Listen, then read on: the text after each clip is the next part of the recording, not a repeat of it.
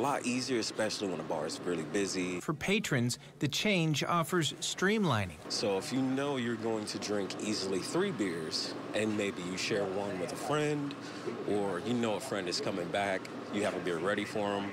It does have a lot of convenience. Buying by the bucket could also save money. You save a little change. It's usually a dollar cheaper if you buy the bucket than ordering singles.